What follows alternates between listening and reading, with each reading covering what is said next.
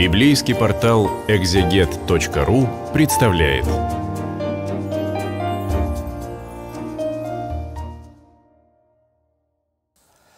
Дорогие друзья, братья и сестры, читаем книгу пророка Иоиля с порталом экзегет.ру.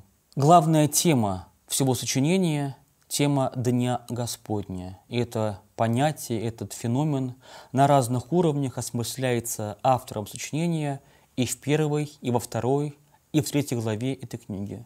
На каждом из уровней образ подвергается масштабированию. Если в первой главе это есть то, что случилось с обществом а, Южного Царства, с Израилем, с Иерусалимом, то во главе второй и далее образ касается уже всего мироздания. Возникает тема эсхатологических ожиданий, чаяний. И в этом отношении книга показывает себя сочинением немножко более поздним, чем принято о ней думать. Наверное, она была написана во времена уже в послепленные, примерно в пятом, а возможно и в четвертом веках до христианской эры, потому что тема апокалипсики, эсхатологии появляется в Ветхом Завете, ну, скажем так, не в начале и не в середине жизни этой традиции, большой литературной традиции. И вот возникает тема Дня Господня, которая вполне открывается, развивается во второй главе книги этого сочинения – Читаем. Стих первый. «Трубите в рог на Сионе и поднимите тревогу. У меня на Святой горе все жители пусть трепещут. Пришел день Господень, он близок». Описание тревоги – это знак тревоги. На горах были посты, возвышенные места, где были по-нашему пограничники, осматривали пределы. И вот возникает э, сигнал сигнал тревожный, э, сигнал из рога о том, что есть военное вторжение. И это называется вторжение Днем Господним. День мрака и тьмы, день мглы и бури, то не лучи зари растекаются по горам, то народ несметный и мощный, каких не видали от века, каких уже не увидят грядущие поколения. Описывается нашествие саранчи, которая летит с востока или северо-востока, захватывает поля, пастбища, другие регионы, деревни, города. Если в главе 1 описывается нашествие саранчи, то в главе 2 эта саранча понимается как нашествие иноземного войска. Несметное полчище, люди сильные, люди отважные, люди умелые идут с севера и с востока, чтобы завоевать Божий народ, Божье племя. Описывается в этом стихе, втором стихе, очень важные понятия, знакомые нам при чтении Торы, закона Моисеева. Образ тьмы, образ мрака, это то, что сопровождает и творение мироздания, и также момент исхода Божьего народа из Египта. День Господень, когда Бог вмешивается в историю мироздания, либо его творит, либо спасает народ свой из плена египетского, сопровождается именно этими явлениями. Возникает ситуация, где господствует мрак, господствует тьма. Читаем дальше, стих 3. Перед ним огонь всепожирающий, позади полыхает пламя, пред его приходом земля, как Эдемский сад, а после него пустыня, от него не спастись никому. На вид они словно кони, как скакуны летят, так по горным вершинам колесницы с грохотом мчатся, так речит огонь, пожирая солому, так огромное войско рядами идет в сражение описывается в этих трех стихах, третьем, четвертом и пятом, нашествие конницы, где есть колесницы. Эта, эта конница, она может как будто бы и по горам, и по вершинам скакать. Это какая-то очень отважная и умелая конница, могучая военная сила э, тех времен. Сжались в страхе пред ним народы, бледны от ужаса лица, на приступ идут, как ратники, как воины стены штурмуют, зная место свое в строю, вперед продвигаются твердо.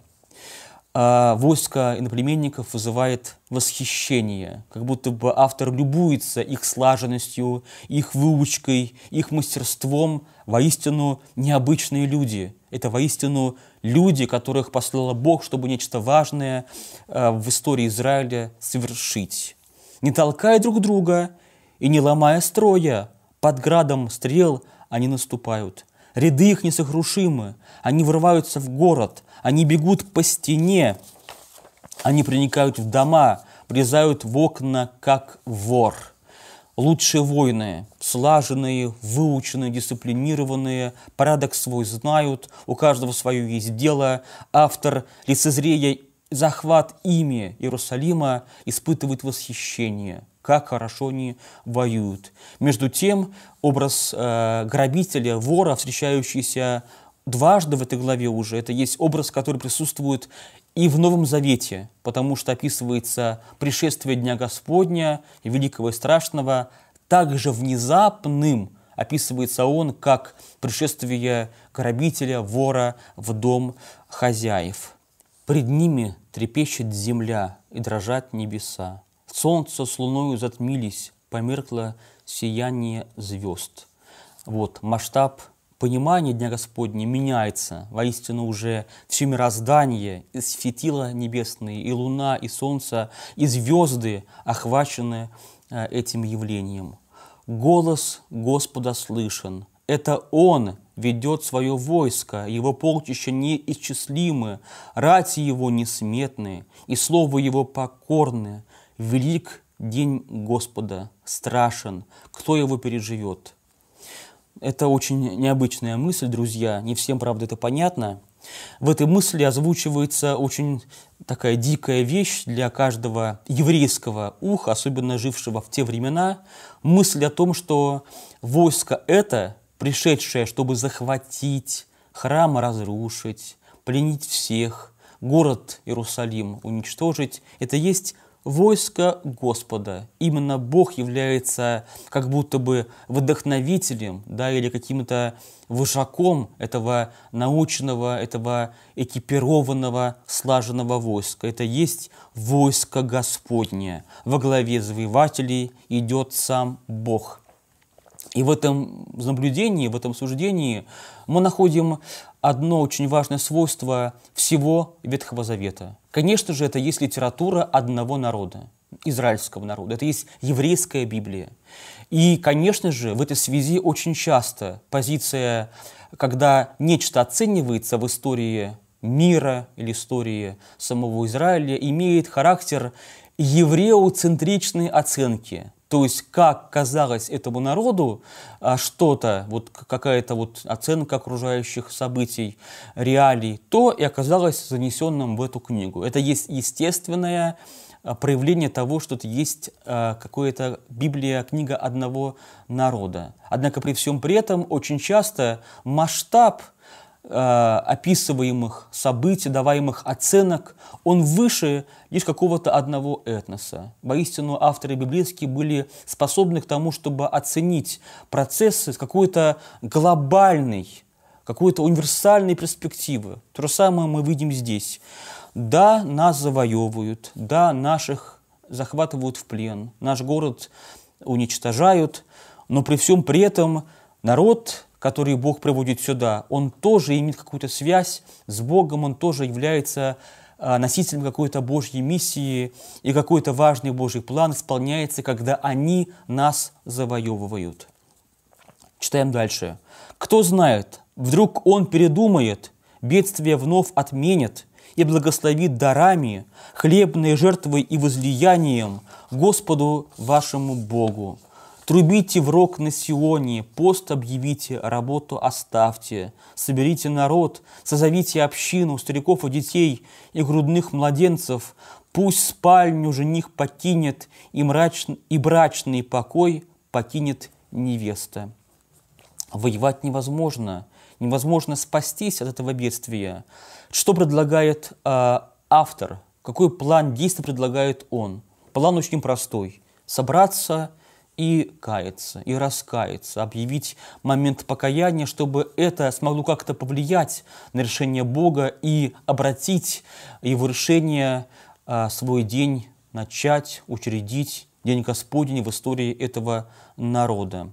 Покаяние касается и чего-то внутреннего, да, раскаяния в проступках, но и чего-то внешнего, да, пост, воздержание от радостей, от, от брачного общения, как написано в стихе 16. Меж храмом и жертвенником пусть священники плачут, пусть взывают служители Господа, Господи, пощади свой народ, достояние свое не выставляя на позор, на посмешище и на племенников, пусть не скажут народы, где же их Бог. Опять возникают священники, опять возникает храм, что подтверждает тезис о том, что автор этого текста был связан с храмом, возможно, был либо священником, либо был каким-то прихрамовым служителем, прихрамовым пророком. И э, момент покаяния сопровождается вот таким вот взыванием к, Бо, к Богу, Господу. «Пусть, Господи, не скажут народы, когда Ты нас покараешь, где же был их Бог, где же их был Господь, почему Он их не защитил?» Это есть довольно частое обращение к Богу, немножко, конечно же, манипулятивное. Оно встречается и в книге Исход, и книге Второзакония, и других книгах, как бы говорится Богу, если ты, Бог, нас оставишь, нас уничтожат, нас завоюют, то они же и скажут, а где же был их Бог? И поэтому, Господи, чтобы Тебя не осуждала мысль, либо язык язычника, сохрани уж и нас, Твой народ, Твоих грешников, но Твоих грешников, да, сохрани нас, пожалуйста, от этого несчастного э, бедствия. Стало больно Господу за свою страну, и Он пожалел свой народ. Описывается ну, нередкое, ну и не очень частое событие, когда Бог раскаивается.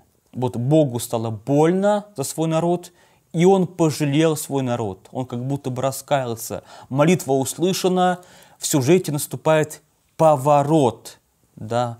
И Яхова выступает вновь защитником и земли, и народа, в его ответе, который будет ниже, дается обещание того, что однажды у тебя, Израиль, у тебя, Иудея, будет в изобилии и зерна, и масла, и вина.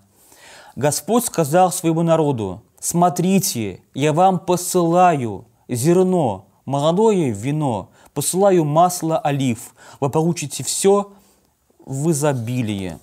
Больше не выставлю вас иноплеменникам на поругание». Бог обещает компенсировать однажды то, что было понесено, испытано иудеями, все порушенное, уничтоженное, съеденное саранчой, восстановить, заново возрастить, и больше никогда, как утверждает Бог, не будет завоевания и поругания его народа.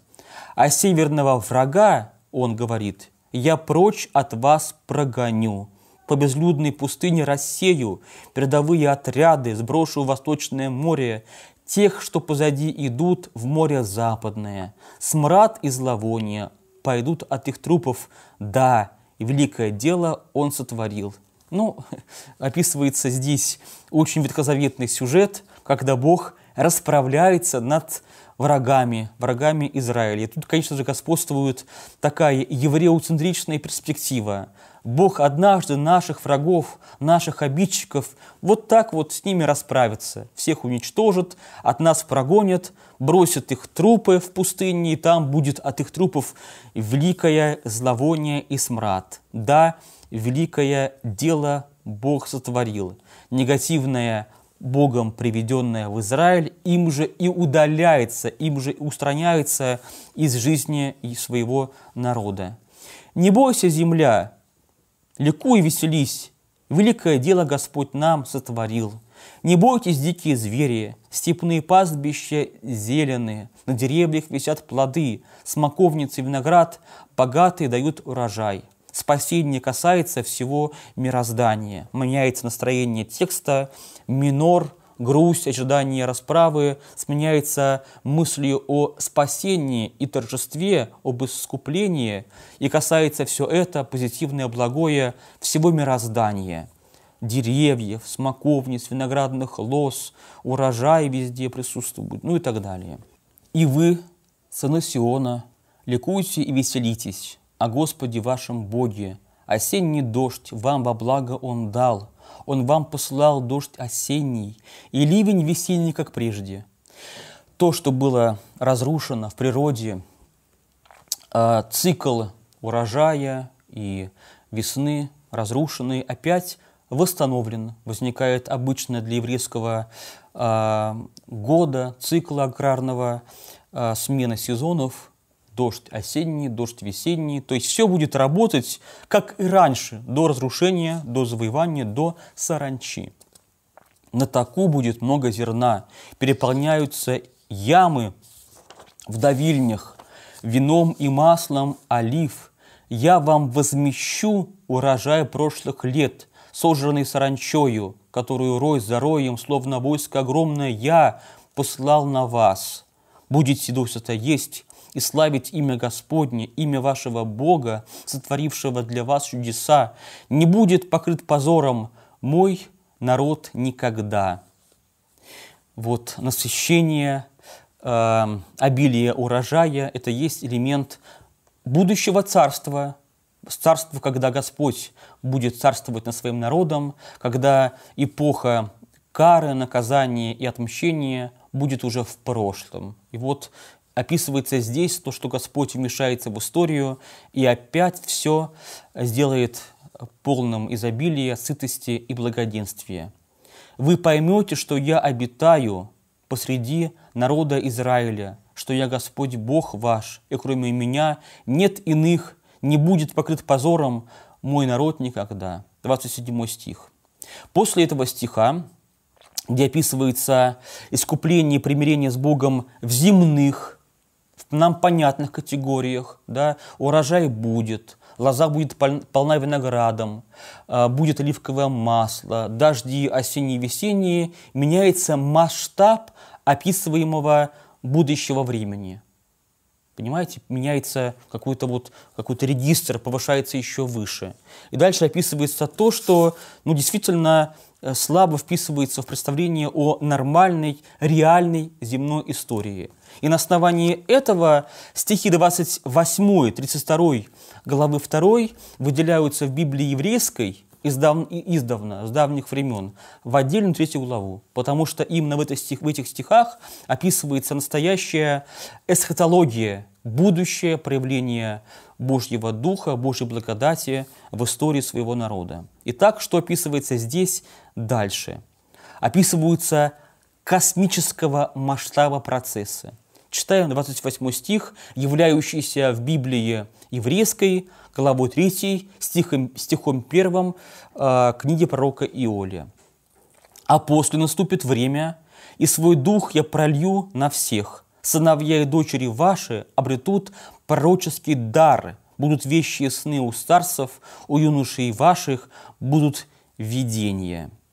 Вот э, этот стих, который э, присутствует и в Писании Новозаветном, это уже книга Деяний, он очень заслуживает довольно такого серьезного к себе внимания. Описывается то, что действительно касается уже не просто мира природного, аграрных разных вещей. Урожай, посев, сбор урожая, давильные виноградные, ток, там зерно на токе и так далее, гумно и прочие вещи.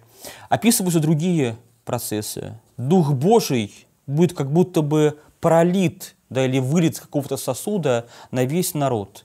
Если раньше, времена Ветхозаветные, современные Иоилю, современные пророку Илии, Елисею и прочим, Дух Божий опускался капельками на царей, на Божьих каких-то избранников, на пророков, на священников, и все. Да, вот на кого падали струйки или капли Божьего Духа, то однажды вместо капелек будет настоящий ливень, и Бог опрокинет сосуд благодати на весь народ. Бог прольет своего Духа на всех. На кого на всех? Может, на каких-то важных персонажей, да, самых образованных, самых статусных, самых умных? Нет, на всех. А именно на сыновей, на дочерей, на старцев, на юношей, ну, даже на ну, на мальчиков, которые ничего еще не сделали, ни, никак еще ничему не научились, и то на них будет пролит э, Дух Господень. То есть в этом стихе выражается очень важная мысль. Присутствие Божье, Его Духом будет максимальным в те времена. Какие времена? А вот те времена, далекие времена, которые мы называем временами эсхатологическими, которые по нашему христианскому учению уже наступили, или иначе говоря, начали проявлять себя в полноте. По христианскому учению а, действительно Дух Святой как будто бы излился на каждого человека, и в таинстве крещения есть чин миропомазания, где при помазании тела крещенного ребенка или взрослого человека священным миром Божья благодать как будто бы изливается на каждого отдельного человека. И Бог максимально, как это возможно, присутствует в жизни именно этого человека. Дальше больше. Написано в 29 стихе. «В те дни я пролью свой дух даже на рабов и на рабынь, на бесправных, на чьих-то людей, на чью-то собственность, на то, что казалось людям сопоставимым с, по положению с коровой, с лошадью, с валом и так далее, даже на них будет излит Божий Дух. «Дам знамение на небе и на земле, кровь, огонь и столбы дыма. Настоящие знаки богоявления, эпифании, теофании – это все было и э, кровь, и огонь, и столбы дыма и в Египте, и на Синае, и когда Бог себя проявлял в полноте, именно эти явления, они тоже сопровождают явление Бога. Итак, вот меняется порядок нормальной жизни. Те, кто раньше были бесправные, учимые, от кого-то получающие, как посредников Божьи, какие-то дары, они оказываются носителями Божьих, Божьей благодати, Божьих даров во, всех, во всей их полноте. «Дам знамение на небе и на земле, кровь, огонь и столбы дыма, солнце во тьму превратятся, кровью станет луна, и придет день Господень, великий и страшный. И тогда каждый, кто воззовет к Господу, будет спасен» на горе Сион в Иерусалиме сохранится остаток жителей, как обещал Господь. Выживут те, кого Господь призовет. Возникает еще одна тема, тема необычная, тема такая модерновая для Ветхого Завета, тема остатка. И вот этот остаток, верный Богу, собравшийся в Иерусалиме, призвавший имя Господа, то есть сохранивший свою веру на Него, полагающийся лишь на Бога, и вот тот-то будет спасен. На горе Сион будет их собрание, и там сохранится остаток. В дальнейшем в христианском уже богословии этим остатком называется, именуется, именуется вся церковь, весь народ Божий, народ христианский, народ Нового Израиля. В этой связи мы видим, как слова, которые написаны были в далекие древние времена оказываются в контексте времен новозаветных и наших времен актуальными и живыми. Книга пророка Иоиля говорит с нами языком уже Нового Завета, языком примирения, искупления и спасения. Дорогие друзья, это была глава вторая книги пророка Иоиля. Читаем книгу пророка Иоиля с порталом exeget.ru. С вами священник Алексей Волчков. Спасибо за внимание. Всего хорошего.